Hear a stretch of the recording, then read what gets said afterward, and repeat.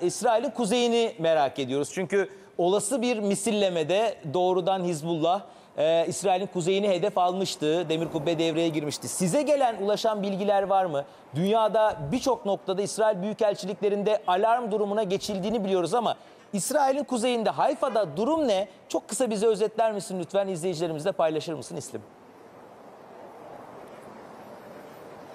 Evet Haktan Ünsal, İsrail'in en önemli hedeflerinden biri Hizbullah'a saldırılarında karşı üst düzey yöneticilerini hedef alıyordu ve her saldırısında bunu açıklıyordu ve her saldırısında o suikast zincirine yeni bir halka daha ekleniyordu. Şimdiki hedefse Hasan Nasrallah'tı.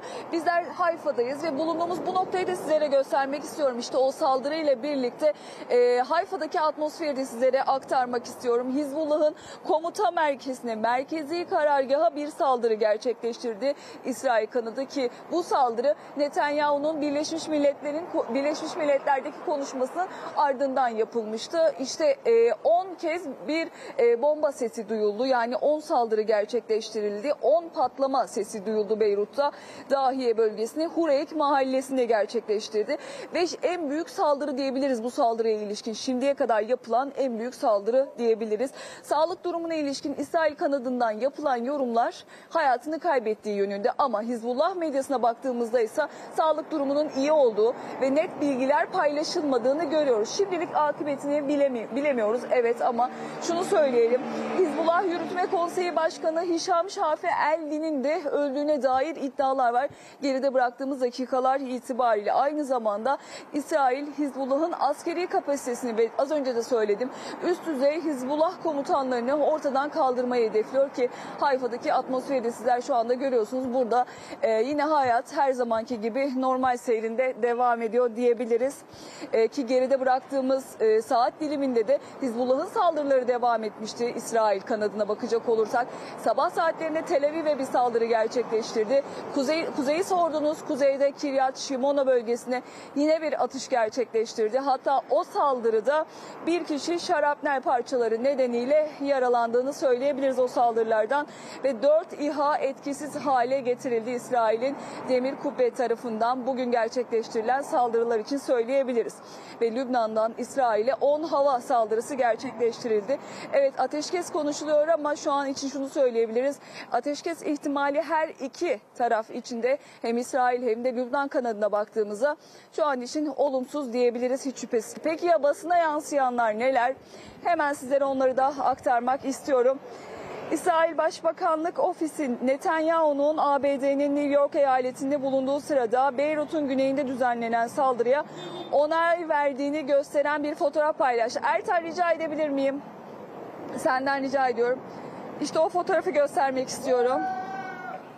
Evet. Bu saldırıya onay verdiğine dair bir fotoğraf İsrail basınından servis edildi. Hemen diğer bilgileri de size aktarıyorum.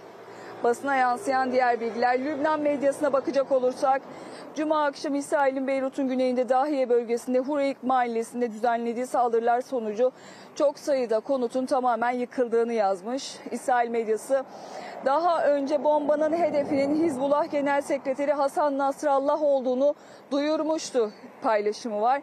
İsrailli bir başka kaynaksa Nasrallah'ın ortadan kaldırıldığı yönündeki göstergelerin olumlu olduğunu söylüyor. İsrail Yayın Kurumu bir yetkiliden bu hamlenin sonuçları bölgesel bir savaşa yol açabilir paylaşımı var. Üst düzey İsrailli yetkili Barak Revitz'in bir açıklaması var.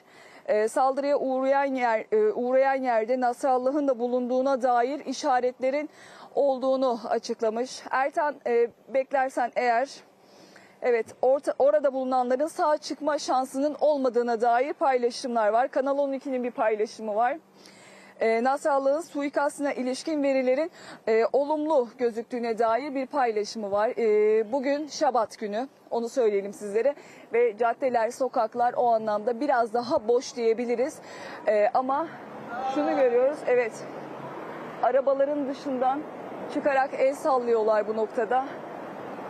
Evet, Hayfa'da durum, hayat gayet normal. Geride bıraktığımız saat diliminde İsrail Hizbullah'a yönelik büyük bir saldırı suikast girişiminde bulundu. Hedefte ise Hasan Nasrallah vardı. Evet, dört binanın yıkıldığına dair bilgi var elimizde. Hasan Nasrallah'ın sağlık durumuna ilişkin şu an için net bir bilgi yok. Hayfa'da şu an Hayfa'dan manzaralar gösteriyoruz sizlere. Buradaki durumu, buradaki atmosferi sizlere aktarıyoruz. Hizbullah'ın komuta merkezi, merkez karargahına bir saldırı gerçekleştirildi.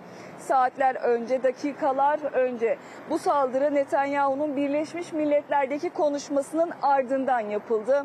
Beyrut'un güneyinde 10 patlama sesi duyuldu Haktan Ürsal.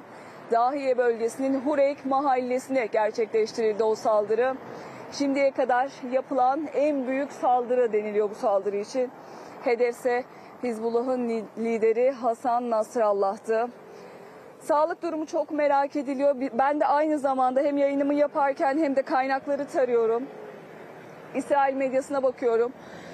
Şu an için net bir bilgi yok çünkü bütün kaynaklar farklı yazıyor. İsrail medyası sağlık durumunun eee, hayatını kaybettiğine dair bilgiler var. Fakat Hizbullah kanadından baktığımız zaman hayatını kaybettiği yönünde bilgiler var. İsrail medyası ise bunu bu şekilde paylaşıyor.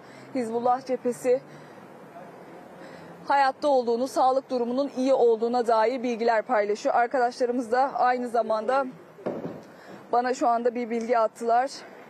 İsrail'in Celile bölgesi ve Saf- Safet kentinde siviller için uyarı vererek güvenli alanda kalmaları istenmiş. Yani bir yeni bir alarm durumu diyebiliriz bu nokta için. Hizbullah medya ilişkilerinden de bir açıklama gelmiş. İsrail'in Beyrut saldırısına ilişkin yapılan hiçbir açıklamanın aslı yok. Yani şu an için şunu söyleyebiliriz. Hasan Nasrallah'ın sağlık durumuna ilişkin net bir bilgi paylaşmamız mümkün değil. Zira kaynaklar farklı farklı açıklamalarda bulunuyor. Burası normal şartlarda Hayfa'nın en işlek caddelerinden biri. Ve bu noktadan görüntü sizlere veriyoruz. Bugün Şabat günü olduğu için sakin, evet. Ama normal şartlarda bu alan oldukça yoğun, kalabalık bir nokta. Geride bıraktığımız saat diliminde meydana geldi. İşte o saldırı Beyrut. Hep hedef Beyrut'tu. İsrail'in birçok saldırısında e, Beyrut ve K bölgeleri hedef alınmıştı. Evet, İsrail Kan Televizyonu'nun açıklamasını da paylaşıp yayınımı toparlamak istiyorum. İsrailli bir kaynak zaman geçtikçe ve e, Hizbullah bir açıklama yayınlamadıkça Nasrallah'ı ortadan kaldırıldığına dair tahminler artıyor açıklamasında bulunmuş. Evet, Hizbullah medyasından durum e, öldüğüne dair paylaşımlar yapılıyor. Bütün kaynaklar hemen hemen öyle. E, İsrail kanadından, Hizbullah kanadındansa şu an için net bir açıklamanın olmadığını sizlere ifade edebiliriz. Hayfa'daki atmosferi anlattık, aktardık diyelim ve yeni gelişmeler oldukça bağlanmaya devam edeceğiz.